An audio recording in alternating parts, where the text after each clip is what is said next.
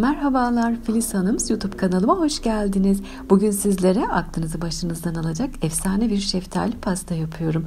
Püf noktalarını kaçırmamak adına videomu sonuna kadar izlemenizi tavsiye ediyorum. Hepinize iyi seyirler.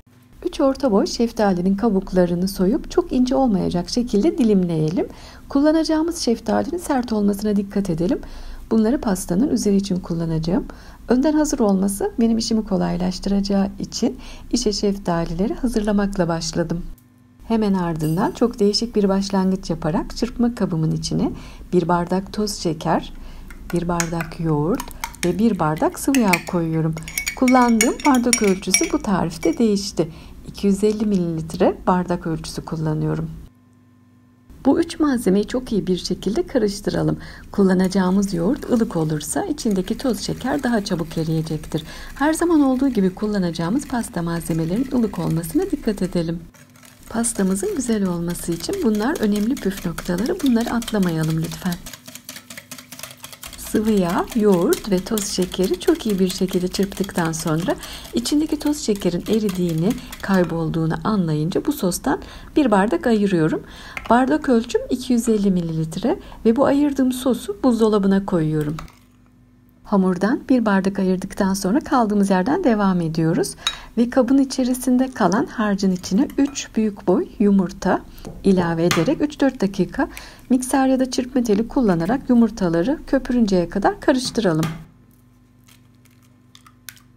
İstediğimiz görüntüye ulaştığı zaman 1,5 su bardağı unu, 1 paket kabartma tozunu ve 1 paket vanilyayı ilave edelim. Çok cıvık değil, çok katı da değil. Böyle orta karar bir kek harcı elde etmemiz gerekiyor. Her zaman olduğu gibi unu kontrollü koymakta fayda var. Aslında bu pastanın tarifi çok böyle gördüğünüz, çok bildiğiniz bir tarif. Genelde elma ile yapılıyor ama şeftali de çok yakışıyor, çok lezzetli oluyor. Pazarlarda ve manavlarda daha şeftali satılmaya devam ediyorken bence bu hafta bu tarifi bu şekilde mutlaka denemelisiniz. İnanın çok seveceksiniz.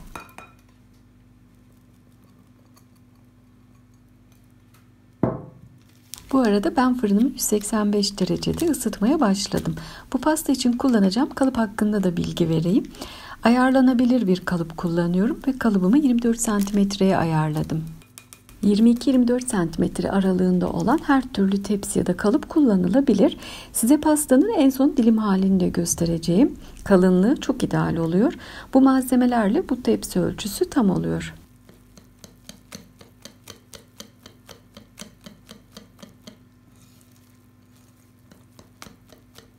Şimdi hazır olan kek harcımı kalıba boşaltıyorum.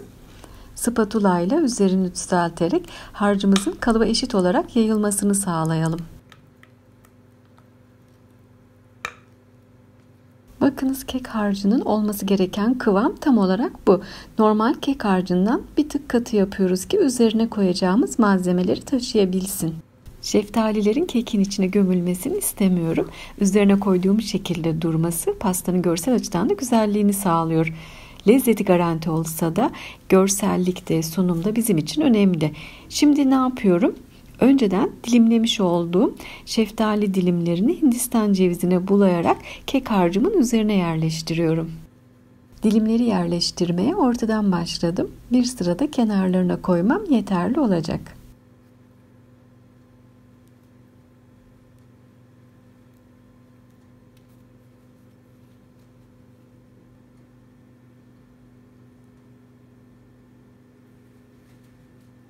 Yine pastanın üzeri için aşureden kalma kuş üzümü vardı. Onu da suyla ıslattım. Şeftalilerin üzerine biraz da kuş üzümü serpiyorum.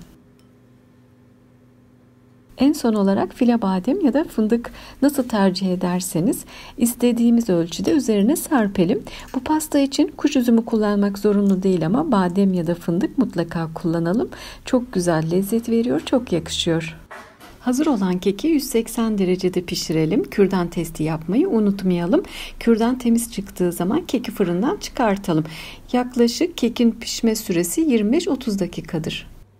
Keki fırından çıkarttıktan 5 dakika sonra buzdolabına koyduğumuz sosu kekin üzerine her yerine değecek şekilde dökelim.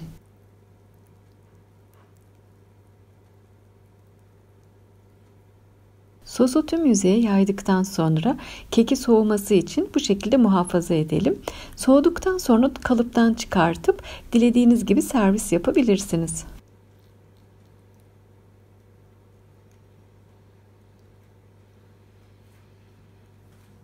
Bugün çok güzel bir pasta yaptık. Şeftalili pastayı deneyecek olanlara şimdiden afiyet olsun diyorum.